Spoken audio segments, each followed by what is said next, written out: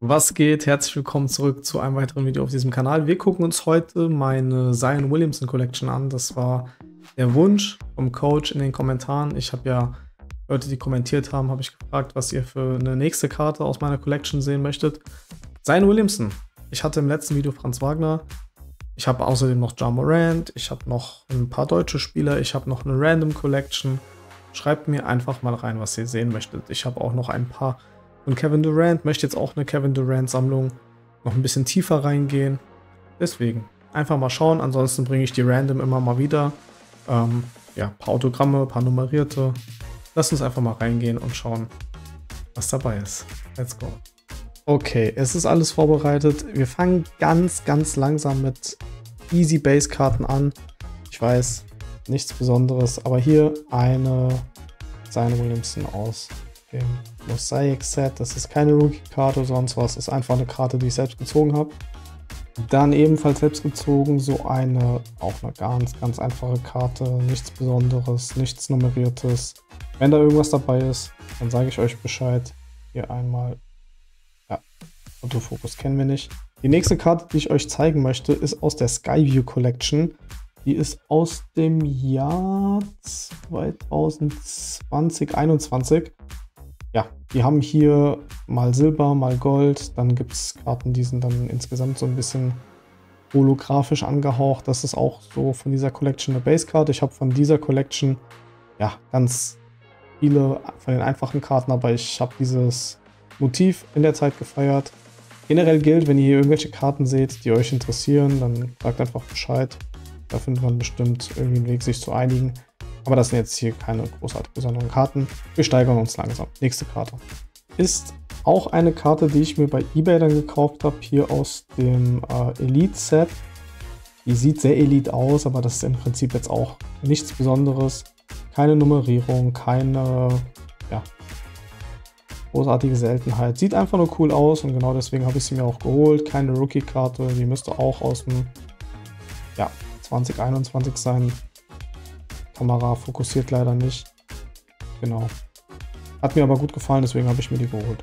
So, wir bewegen uns weiterhin auf Base-Niveau. Das ist aus der Flux oder Flux Collection. Eine Zion Williamson Karte, auch keine Rookie-Karte mehr. Hat mir aber auch das Design richtig gut gefallen und ich habe sie günstig bekommen. Deswegen dachte ich mir, Zion Williamson, zu dem Zeitpunkt habe ich die auch wirklich noch gesucht. Die Zion Williamson Karten. Mittlerweile ist das nicht mehr so. Diese Karte, Complete Players von Zion Williamson, habe ich selber gezogen aus dem Dunruss Pack. Hier keine Rookie-Karte mehr, die ist dann auch schon aus 2021. Und ja, ist in meiner Collection gelandet, weil ich die Karte gezogen habe. Finde das Design an sich ganz cool. Wäre schön gewesen, wenn hier irgendwo noch ein Holo oder sowas dabei gewesen wäre. Aber it is what it is.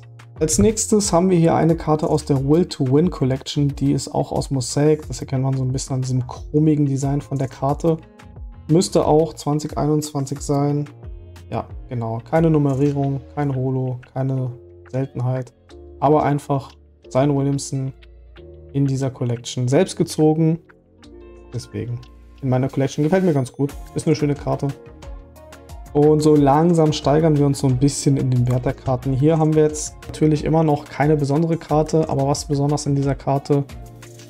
Rookie-Karte. Hier sieht man es, RC das ist eine Karte aus dem ersten Jahr von Zion Williamson. Das bedeutet 1920.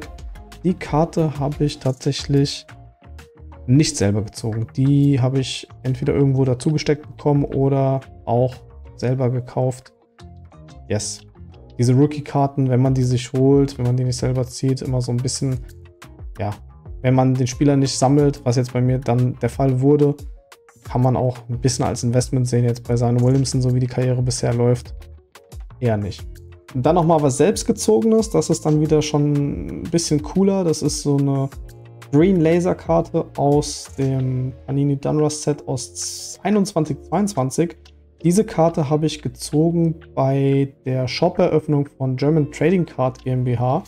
Da habe ich mir eine Box gekauft und habe die vor Ort geöffnet und habe da auch ein paar nette Leute kennengelernt. Ja, keine Nummerierung, gar nichts, einfach Green Laser. Das ist so eine der niedrigeren. Ähm, ja, sind das Parallels? Weiß ich jetzt gar nicht. Jedenfalls äh, Zion Williamson dabei, keine Rookie-Karte mehr. Dann nochmal was selbstgezogenes. Luminance. Hat leider so ein bisschen eine Biegung drin. Bei mir im Ordner drin. Lag da wohl scheiße. Ja, Rookie-Karte Luminance. Geiles Bild. Gibt es hier auch in verschiedenen Seltenheitsstufen, aber hier habe ich da wohl die niedrigste abgegriffen. Ist aber nicht schlimm.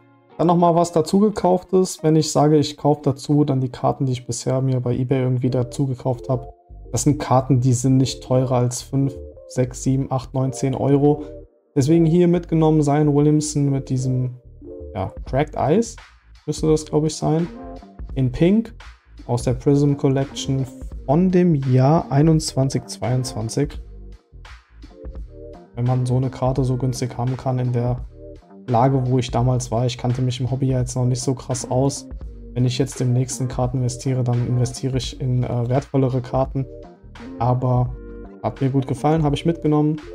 Zion Williamson Pink Cracked Eyes aus dem Prism 2122. Die Karten, die jetzt noch kommen, die sind alle dazu gekauft, aber hier habe ich nochmal eine Recon Rookie-Karte von Zion Williamson. Ich bin mir nicht sicher, ob die hier mit dem Holo dann schon irgendwie eine Stufe mehr als die Base ist. Da musste ich mich nochmal informieren. Aber die habe ich auch günstig mitgenommen, weil es eine Rookie-Karte war. Auf jeden Fall dazugeschlagen. Wie gesagt, wenn Zion Williamson eine bessere Karriere hinlegen würde, dann wäre die Karte auch ein bisschen mehr wert. Aktuell ist Zion Williamson, glaube ich, unter den Sammlern nicht so beliebt. Und dann nochmal eine Rookie-Karte, steht jetzt zwar so nicht drauf, aber diese Arriving Now ist das Rookie-Set mit den Spielern drauf, die dieses Jahr in dem Jahr in die NBA dazugekommen sind. 1920 Panini Premium Stocks. Auch hier die Karte ist ein bisschen shinier als andere Karten, die ich aus diesem Set kenne. Deswegen kann es sein, dass die da schon ein bisschen ja, in Richtung Silver oder Holo geht. Aber da will ich mir nichts einreden. Ich habe die Karte in erster Linie gekauft, weil ich seinen Williamson gesammelt habe und weil das eine Karte aus dem ersten Jahr ist. Gefällt mir echt gut. Es kam auf dem Bild damals gar nicht so rüber. Deswegen freue ich mich umso mehr, dass ich diese Karte jetzt in meiner Sammlung habe. Die drittletzte Karte, ja, die sieht spektakulär aus, ist sie aber im Prinzip nicht. Zion Williamson aus dem Select Set. Müsste Jahr 2021 sein. Ist es auch, also zweites Karrierejahr. Hat ja nur 24 Spiele in dem Jahr gemacht. Aber cooles Bild, cooler Schimmer. Ist aus dem Select Set jetzt nichts Hochrangiges, aber eine coole Karte für meine Collection. So, und dann konnte ich mich nicht entscheiden, welche Karte ich euch jetzt als vorletztes und als letztes zeigen soll. Ich habe mich aber dazu entschieden, euch diese Karte hier zu zeigen. Zion Williamson Rookie-Karte ist eine... Hm, ich weiß gar nicht, was das I ist. Ist das Element? Panini Chronicles steht hier drauf. Das ist eine PSA 9 geratete Karte. Die habe ich mir auf Ebay aus Amerika geholt, als ich mir einmal so eine richtig dicke Amerika-Bestellung gemacht habe äh, ist die mitgelandet als PSA 9. Hier Essentials, genau, da steht es nochmal drauf. Aus dem Rookie-Jahr, da stehen die Stats aus der Duke University mit hinten drauf. Ja, sehr cool. Also, was habe ich bezahlt? Ich glaube irgendwie 15, 20 Dollar. Also so viel kostet ja alleine schon das Graden in Deutschland. Deswegen dachte ich mir, ja, in Anführungsstrichen als Invest. Man merkt dann schnell, wenn man versucht, Karten zu flippen, ich weiß nicht, wie es da euch geht, Leuten, die schon länger im Hobby dabei sind, mm, es funktioniert mit so Low-End-Cards nicht so gut, wie man sich das vielleicht am Anfang einredet. Musste ich schnell lernen, ist aber kein Problem. Ich freue mich trotzdem, dass diese Karte in meiner Collection ist. Und dann kommt jetzt die Karte, für die ich mich entschieden habe, sie als letztes zu zeigen. Und das ist eine Obsidian Zion Williamson Karte. Keine Rookie-Karte, aber guckt euch mal diesen niceen Schimmer an. Was ist besonders an dieser Karte? Die ist nummeriert auf 99. Der Fokus kriegt es nicht hin. Aber es ist eine. Es ist eine.